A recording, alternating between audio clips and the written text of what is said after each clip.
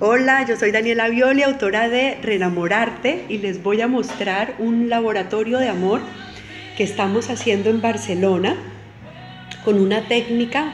fantástica que hablo en mi libro que se llama el Wabi Sabi. El Wabi Sabi es el arte japonés de apreciar la imperfección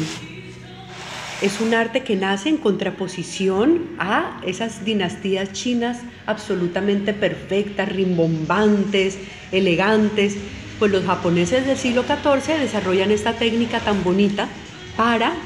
aprender a simplificar y para acercarse a la naturaleza.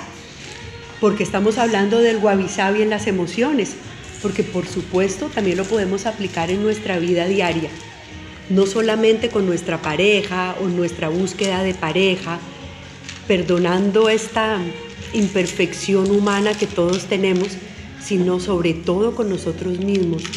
para reconocernos, aceptarnos, querernos tal y cual somos, con cosas maravillosas y con cosas un poco menos maravillosas, pero siempre perfectos, porque somos nosotros